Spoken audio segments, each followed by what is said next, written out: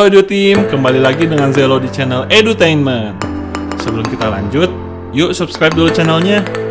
Bunyikan lonceng notifikasi dan like video supaya kita semangat upload info lainnya.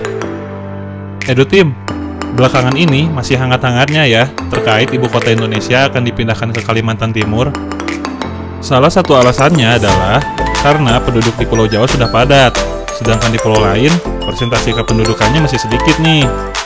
Dan hal ini tentunya akan menggenjot pertumbuhan ekonomi pulau lain di Indonesia. Ibu kota baru pun sudah ditetapkan dan berlokasi di sebagian Kabupaten Penajam Pasir Utara dan sebagian Kabupaten Kutai Kartanegara di Kalimantan Timur. Oh iya, usut punya usut, Jawa Barat juga mau pindah ibu kota loh. Kamu tahu nggak? Tahu. Eh, dengar-dengar sih. Iya, tahu. Sampai video ini diupload, Gubernur Jawa Barat, Ridwan Kamil, sudah dapat persetujuan dari DPRD atas wacana pemindahan ibu kota Jawa Barat.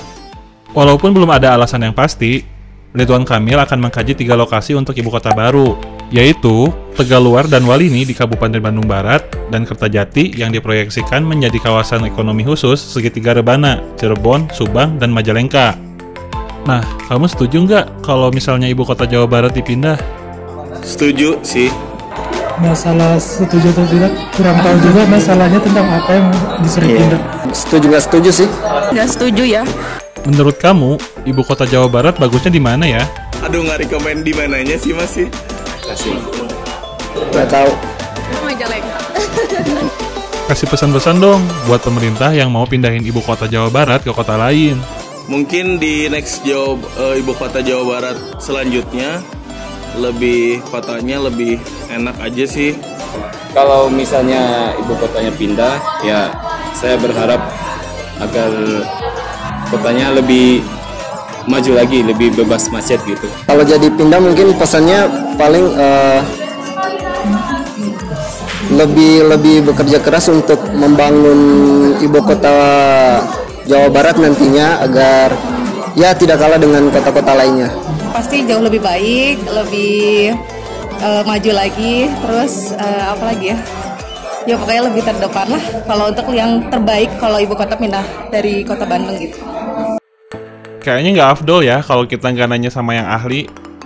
Nah, mumpung ada bapak dosen, kita tanya-tanya yuk sama beliau terkait masalah ini. Tahu nggak sih pak, kalau ibu kota Jawa Barat mau dipindahkan?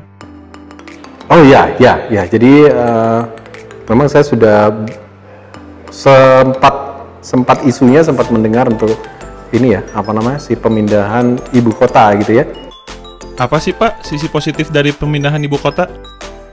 Saat ini pun in- infrastrukturnya juga semakin berkembang kan, jadi lebih mempermudah eh, warga yang ada di kota Bandung itu sendiri maupun kota-kota yang lain yang kemungkinan juga akan terintegrasi dengan fasilitas-fasilitas eh, mungkin bandara saat ini yang ada di Majalengka itu jadi lebih lebih mudah gitu.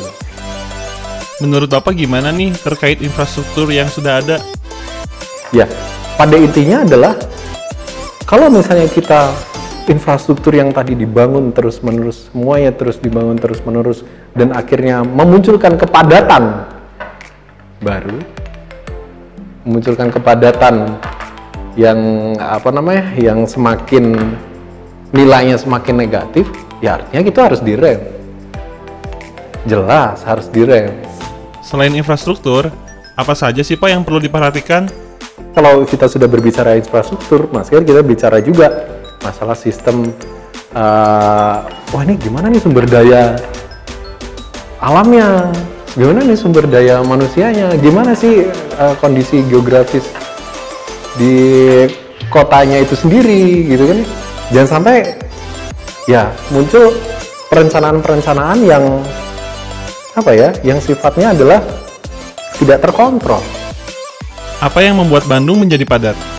saat ini ada Bandung itu sudah masuk ke eh, kota termacet katanya nomor satu di survei kemarin gitu loh karena mungkin pengembangan infrastruktur jalannya kemudian kebutuhan masyarakat semakin tinggi apalagi sekarang cakupannya kota Bandung akan jadi semakin luas gitu. pembangunan pun eh, untuk pengembangan apa namanya pengembangan eh, ya area-area komersil, pengembangan area-area pemerintahan, pemberian itu juga sekarang lagi lagi dalam tahapannya gitu, tahap proses pengembangan gitu.